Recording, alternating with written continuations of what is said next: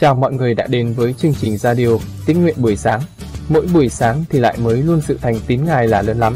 Lời Chúa là thức ăn thuộc linh cho chúng ta mỗi ngày để đắc thắng cám dỗ tội lỗi xác thịt xung quanh chúng ta. Ngài bổ lại linh hồn bạn, dẫn bạn vào các lối công bình. Vì cớ danh Ngài, Chúa thêm sức mới cho bạn. Chúa thêm lên cho bạn đức tin. Mỗi ngày càng gần Chúa và giống Chúa hơn và có mối quan hệ mật thiết với Chúa mỗi ngày. Chúa yêu bạn rất nhiều. Sách Gióp, chương 1 Tại trong xứ Úc Sơ, có một người tên là Gióp. Người ấy vốn trọn vẹn và ngay thẳng, kính sợ Đức Chúa Trời và lánh khỏi điều ác. Người sinh được bảy con trai và ba con gái, có bảy ngàn chiên, ba ngàn lạc đà, năm trăm đôi bò, năm trăm lừa cái và tôi tớ rất nhiều. Người ấy lớn hơn hết trong cả dân Đông Phương. Các con trai người hay đi dự tiệc, đãi thay phiên nhau trong nhà của mỗi người và sai mời ba chị em gái mình ăn uống chung với mình.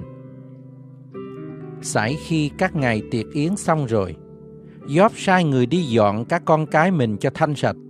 Thức dậy sớm, dân của lễ thiêu tùy số chúng nó vì người nói rằng dễ thường các con ta có phạm tội và trong lòng từ chối Đức Chúa Trời chăng? Gióp hằng làm như vậy. Vả một ngày kia, các con trai của Đức Chúa Trời đến ra mắt Đức Giê-hô-va và Sa-tan cũng đến trong vòng chúng. Đức Giê-hô-va phán hỏi Sa-tan rằng: Ngươi ở đâu đến? Sa-tan thưa với Đức Giê-hô-va rằng: Tôi trải qua đây đó trên đất và dạo chơi tại nơi nó. Đức Giê-hô-va lại hỏi Sa-tan rằng: Ngươi có nhìn thấy Gióp, tôi tớ của ta chăng? Nơi thế gian chẳng có người nào giống như nó, vốn trọn vẹn và ngay thẳng, kính sợ Đức Chúa Trời và lánh khỏi điều ác. Sa-tan thưa với Đức Giê-hô-va rằng: Gióp há kính sợ Đức Chúa Trời luống công sao? Chúa há chẳng dựng hàng rào binh vực ở bốn phía người, nhà người và mọi vật thuộc về người sao? Chúa đã ban phước cho công việc của tay người và làm cho của cải người thêm nhiều trên đất. Nhưng bây giờ hãy giơ tay Chúa ra, đụng đến hại các vật người có, ắt là người sẽ phỉ bán Chúa trước mặt. Đức Giê-hô-va phán với Sa-tan rằng: Này, các vật người có đều phó trong tay ngươi, nhưng chớ tra tay vào mình nó. Sa-tan bèn lui ra khỏi mặt Đức Giê-hô-va. Xảy một ngày kia, khi các con trai và con gái người đang ăn và uống rượu trong nhà anh cả chúng nó, một sứ giả đến báo tin cho Gióp rằng bò đang cài, lừa đang ăn gần bên cạnh, thì dân Sheba xông vào chúng nó, đoạt cướp đi và lấy lửa gươm giết các tôi tớ. Chỉ một mình tôi thoát khỏi, đặng báo tin cho ông. Người này còn đang nói, thì một người khác đến báo rằng Lửa của Đức Chúa Trời từ trên trời giáng xuống, thiêu đốt các con chiên và tôi tớ, làm cho tiêu hủy chúng nó đi. Chỉ một mình tôi thoát khỏi, đặng báo tin cho ông. Người này còn đang nói, thì một kẻ khác chạy đến báo rằng, dân canh đê phân làm ba đạo, xông vào lạc đà, cướp đoạt đi và lấy lửa gươm giết các tôi tớ. Chỉ một mình tôi thoát khỏi, đặng báo tin cho ông. Người này còn đang nói, thì một kẻ khác chạy đến báo rằng, các con trai và con gái ông đang ăn uống tại nơi nhà anh cả của họ. Kìa, một ngọn gió lớn từ phía bên kia sa mạc thổi đến, làm cho bốn góc nhà rung rinh, nhà sập xuống, đè chết các người trẻ tuổi. Chỉ một mình tôi thoát khỏi, đặng báo tin cho ông.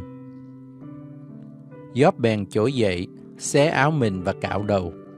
Đoạn sắp mình xuống đất mà thờ lại và nói rằng, Tôi trần truồng lọt khỏi lòng mẹ Và tôi cũng sẽ trần truồng mà về. Đức Giê-hô-va đã ban cho, Đức Giê-hô-va lại cất đi.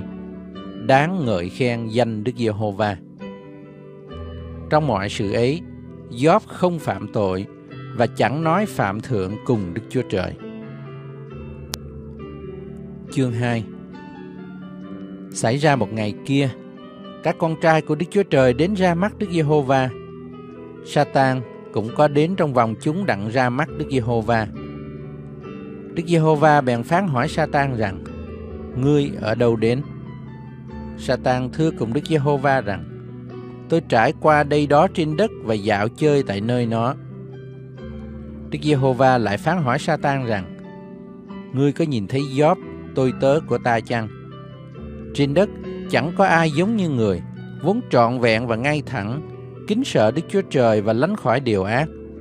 Lại người bền đổ trong sự hoàn toàn mình, mặc dầu ngươi có dục ta phá hủy người vô cớ. Satan thưa lại với Đức Giê-hô-va rằng: Lấy gia đền gia. Phàm vật chi một người có, tất sẽ trao thế cho mạng sống mình. Nhưng bây giờ, xin Chúa hãy giơ tay ra, đụng đến hại xương thịt người, ắt là người sẽ phỉ bán Chúa trước mặt. Đức Giê-hô-va phán với Sa-tan rằng: Kìa, người ở trong tay ngươi, nhưng chỉ hãy giữ mạng sống người. Sa-tan bèn lui ra khỏi trước mặt Đức Giê-hô-va, hành hại Gióp một bệnh ung độc từ bàn chân cho đến chót đầu. Gióp lấy một miếng sành đặng gãi mình và ngồi trong đống tro.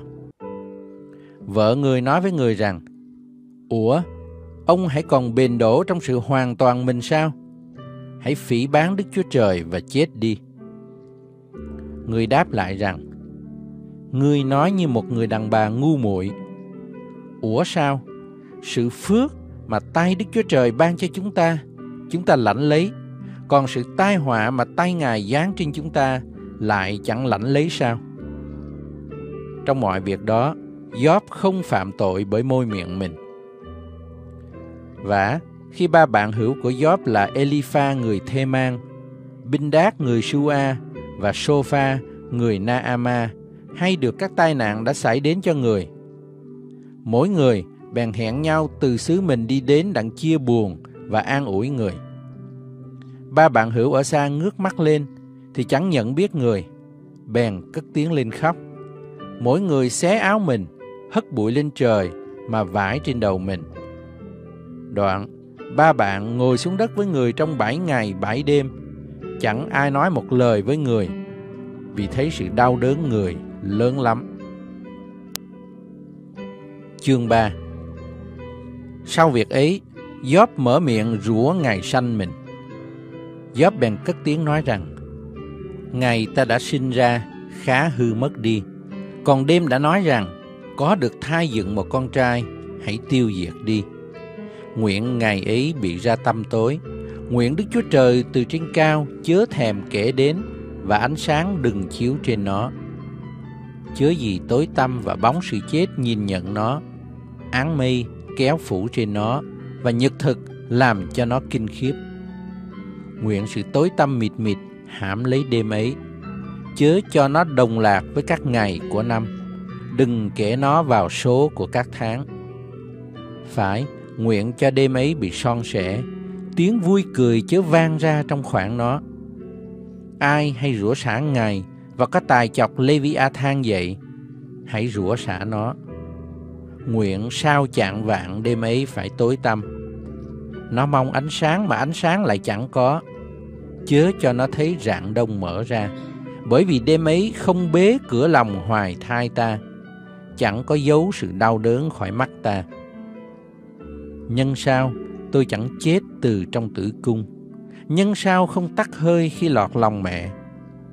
Cớ sao hai đầu gối đỡ lấy tôi và vú để cho tôi bú.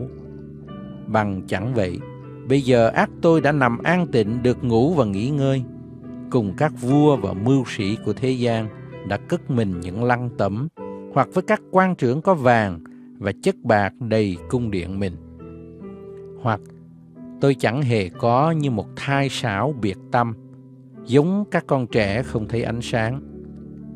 Ở đó, kẻ hung ác thôi rài rạc và các người mỏn sức được an nghỉ. Ở đó, những kẻ bị tù đồng nhau được bình tĩnh, không còn nghe tiếng của kẻ hà hiếp nữa. Tại nơi ấy, nhỏ và lớn đều ở cùng nhau, và kẻ tôi mọi được phóng khỏi ách chủ mình. Cớ sao ban ánh sáng cho kẻ hoạn nạn và sinh mạng cho kẻ có lòng đầy đắng cay. Người như thế mong chết mà lại không được chết. Cầu thác hơn là tìm kiếm bửu vật giấu kín. Khi người ấy tìm được mồ mã thì vui vẻ và nức lòng mừng rỡ thay. Người nào không biết đường mình phải theo và bị Đức Chúa Trời vây bọc bốn bên, sao lại được sự sống? Vì trước khi ăn, tôi đã than xiết, tiếng kêu vang tôi tuôn tôi như nước, vì việc tôi sợ hãi đã thấu đến tôi.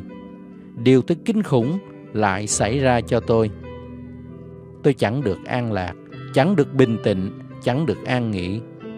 Song nỗi rối loạn đã áp đến. Chương 4 và Đức Thánh Linh phán tỏ tường rằng Trong đời sau rốt Có mấy kẻ sẽ bội đạo mà theo các thần lừa dối Và đạo lý của quỷ dữ. Bị lầm lạc bởi sự giả hình của giáo sư dối Là kẻ có lương tâm đã lì. Họ sẽ cấm cưới gã Và biểu kiên các thức ăn Đức Chúa Trời đã dựng nên cho kẻ có lòng tin và biết lẽ thật Tạ ơn mà dùng lấy. Và mọi vật Đức Chúa Trời đã dựng nên đều là tốt lành cả, không một vật chi đáng bỏ, miễn là mình cảm ơn mà ăn lấy thì được. Vì nhờ lời Đức Chúa Trời và lời cầu nguyện mà vật đó được nên thánh. Con giải tỏ các việc đó cho anh em thì con sẽ nên kẻ giúp việc ngay lành của Đức Chúa Giêsu Christ, được nuôi bởi các lời của đức tin và đạo lý lành mà con đã theo. Những lời hư ngụy phàm tục giống như chuyện bịa các bà già thì hãy bỏ đi và tập tành sự tin kính. Vì sự tập tành thân thể ích lợi chẳng bao lâm, còn như sự tin kính là ích cho mọi việc, vì có lời hứa về đời này và về đời sau nữa. Ấy đó là một lời nói chắc chắn, đáng đem lòng tin trọn vẹn mà nhận lấy. Và nếu chúng ta khó nhọc và đánh trận, ấy là đã để sự trông cậy ta trong Đức Chúa Trời hằng sống. Ngài là cứu Chúa của mọi người, mà nhất là của tín đồ kia là điều con phải rao truyền và dạy dỗ. Chứ để người ta khinh con vì trẻ tuổi, nhưng phải lấy lời nói, nết làm, sự yêu thương, đức tin và sự tinh sạch mà làm gương cho các tín đồ. Hãy chăm chỉ đọc sách, khuyên bảo, dạy dỗ cho đến chừng ta đến. Đừng bỏ quên ơn ban trong lòng con, là ơn bởi lời tiên tri nhân hội trưởng lão đặt tay mà đã ban cho con vậy hãy săn sóc chuyên lo những việc đó, hầu cho thiên hạ thấy sự tấn tới của con. Hãy giữ chính mình con và sự dạy dỗ của con. Phải bền đổ trong mọi sự đó, vì làm như vậy thì con và kẻ nghe con sẽ được cứu. Chương 5 Chớ của nặng người già cả, nhưng hãy khuyên dỗ họ như cha, còn kẻ trẻ thì như anh em.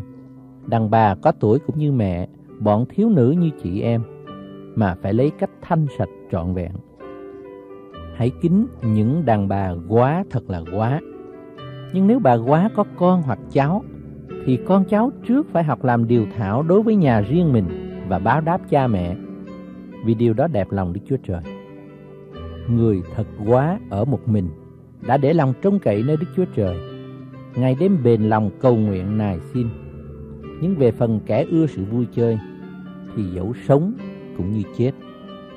Hãy nhắc lại những điều đó cho họ, hầu cho họ không chỗ trách được.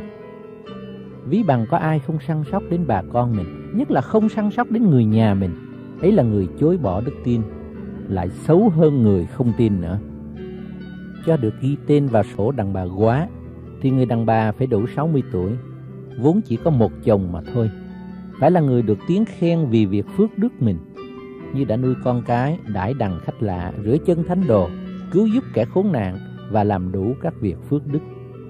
Nhưng hãy từ chối những đàn bà quá còn trẻ quá. Vì lúc thú vui xui họ lìa khỏi đấng Christ thì họ muốn lấy chồng, bội lời thể ước ban đầu mà chuốc lấy điều của trách vào mình. Đó là vì họ hay ở không, quen thói chạy nhà này sang nhà khác. Nào những họ ở không thôi đâu, lại còn thầy lay thóc mắt hay nói những việc không đáng nói nữa. Vậy Ta muốn những gái quá còn trẻ nên lấy chồng, sanh con cái, cai trị nhà mình, khỏi làm cớ cho kẻ thù nghịch nói xấu. Vì đã có một vài bà quá bội đi mà theo quỷ sa tăng. Nếu tín đồ nào có đàn bà quá trong nhà mình thì phải giúp đỡ họ, cho khỏi lụy đến hội thánh, hầu cho hội thánh có thể giúp đỡ những người thật quá. Các trưởng lão khéo cai trị hội thánh thì mình phải kính trọng bội phần, nhất là những người chịu chức rao giảng và dạy dỗ. Vì Kinh Thánh rằng, ngươi chớ khớp miệng con bò đương đạp lúa, và người làm công thì đáng được tiền công mình. Đừng chấp một cái đơn nào kiện một trưởng lão mà không có hai hoặc ba người làm chứng. Kẻ có lỗi hãy quở trách họ trước mặt mọi người để làm cho kẻ khác sợ. Trước mặt Đức Chúa Trời, trước mặt Đức Chúa Giêsu Christ và trước mặt các thiên sứ được chọn, ta răng bảo con giữ những điều đó, đừng in trí trước, phàm việc gì cũng chớ tây vị bên nào. Đừng vội vàng đặt tay trên ai, chớ hề nhúng vào tội lỗi kẻ khác. Hãy giữ mình cho thanh sạch. Đừng chỉ uống nước luôn, nhưng phải uống một ít rượu vì cớ tỳ vị con và con hay khó ở. Có người thì tội lỗi bị bày tỏ và chỉ người đó ra trước khi phán xét, còn có người thì sau rồi mới bị bày tỏ ra. Các việc lành cũng vậy, có việc thì bày ra, lại có việc thì không bày ra, mà sao rồi cũng không giấu kín được. Chương 6 Hết thảy những kẻ dưới ấp đầy tớ phải coi chủ mình là đáng trọng mọi đàn, hầu cho danh hiệu và đạo lý của Đức Chúa Trời khỏi bị làm trò cho người phạm thượng. Ai có chủ là tín đồ thì không nên lấy cớ anh em mà khinh dễ, nhưng phải càng hầu việc hơn, vì kẻ được công của mình là tín đồ và người rất yêu dấu. Đó là điều con phải dạy dỗ khuyên bảo họ.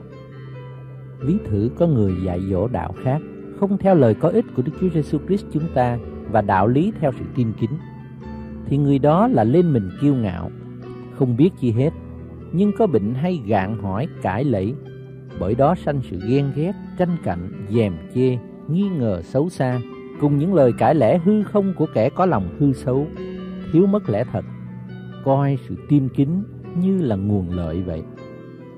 Và sự tin kính cùng sự thỏa lòng, ấy là một lợi lớn. Vì chúng ta ra đời chẳng hề đem gì theo. Chúng ta qua đời cũng chẳng đem gì đi được. Như vậy, miễn là đủ ăn đủ mặc thì phải thỏa lòng.